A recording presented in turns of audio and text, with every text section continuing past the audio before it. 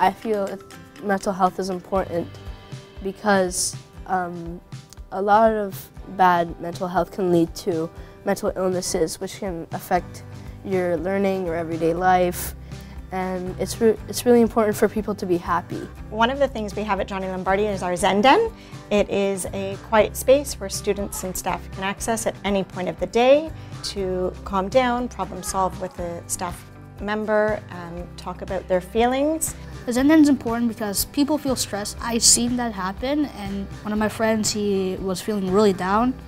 He went to the Zen Den, he stayed there for like a couple of minutes, and then he came back feeling refreshed and happy. As you notice from our school, we have QR codes, um, and that campaign was launched uh, based on our school climate data. A lot of kids were coming back saying that they didn't feel like they had a sense of belonging or that they mattered.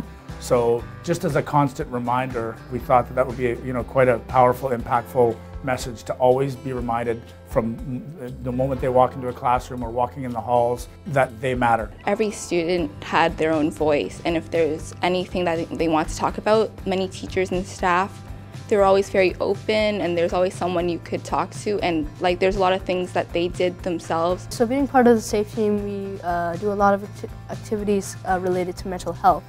So one of them would be Mindful Moment. So in Mindful Moment, basically what we do is we go downstairs to the office, and in the office there's a mic and everything, and we play relaxing music over the announcements. At Johnny Lombardi, we have really worked hard to create a sense of belonging, giving students a voice and someone in the world that they can reach out to in order to support their mental health.